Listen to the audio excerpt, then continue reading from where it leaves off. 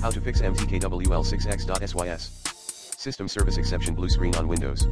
FYI, reported error info includes system thread exception not handled, DPC watchdog violation as well. 1. Update Mediatek Wi-Fi device driver using the recommended Avast driver updater in this video guide. Plan B, roll back network driver, if you can. 2.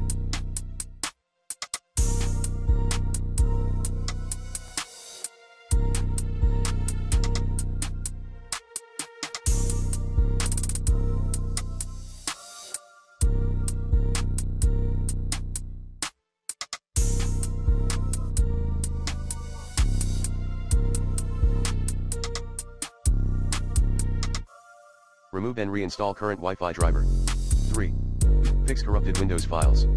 Common commands include sfc slash scannow dism slash online slash cleanup image slash scan health dism slash online slash cleanup image slash check health dism slash online slash cleanup image slash restore health 4. Use system restore.